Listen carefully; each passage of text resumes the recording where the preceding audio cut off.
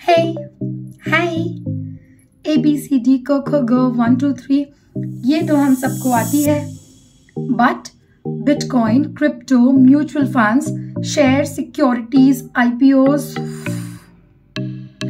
ये सब सुन के सबकी सांस फूल जाती है Hi, this is Sonal Agrawal and welcome back to my channel and today we are going to talk on investments. Now, why people don't invest in the stock market or in any other different investment plans. The first reason definitely is the risk factor. We feel that there is a huge risk. But the second most important reason why we don't invest is lack of awareness, lack of financial literacy. And this is the major reason why we easily don't invest in any of the investment plans.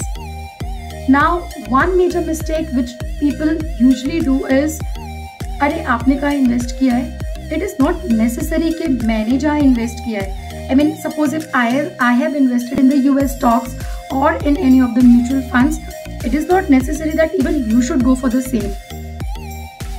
Read the company portfolio properly, nicely, have that awareness, and then only you should start your investments. Definitely, there are many ways in which you can do the investments. I mean, पहले क्या होता था during our parents' time? Like I have grown up listening only to the FDs.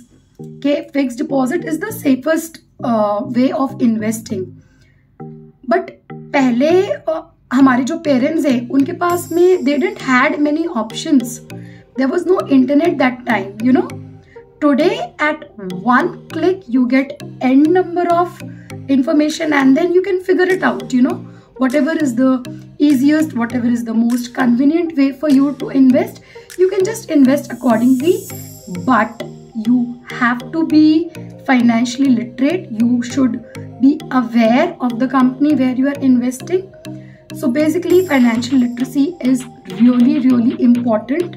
And then yes of course you can do the investments as you like. So today in this video i'm going to share five best websites which i personally use. Check it out. So the first one is the core 4 of personal finance by udemy. Number two, we have Personal Finance 101 by Udemy again. Number three is Financial Literacy by Alison. Number four is Investopedia. And at number five, we have Khan Academy Personal Finance. So, what are you waiting for? Start exploring now. And yes, remember, your compounding learning will get your compounding earning right? I'll see you in my next video and to watch such more insightful business content, follow me and keep watching for more. Bye!